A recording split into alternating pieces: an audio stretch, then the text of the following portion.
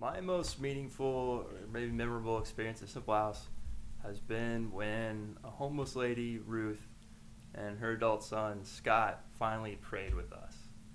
Um, I met Ruth and Scott earlier in the summer when I visited Simple House, and it had been about two months after we moved here in November when it finally happened.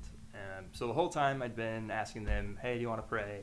Every time we'd sit down to eat, or I'd say goodbye, and they'd just kind of look at me and just kind of shrug their shoulders, and, and so I would just end up praying the whole time.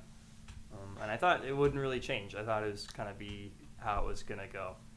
Uh, and I was really surprised one day when I guess I'd kind of gotten bad about asking anymore because I would just kind of assume that I'd be the one praying, um, and I would just start, or I wouldn't even. I would say a small prayer quickly as they were as they were leaving.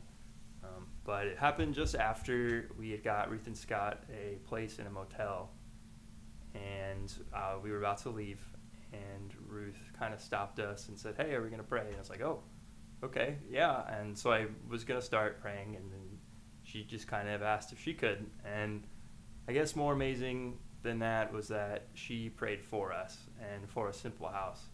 And it was just a, great prayer of thanksgiving and gratitude for the things that we'd been able to do for her on the time that we were spending with her. Um, and that just really has stuck with me. And now they always want to pray.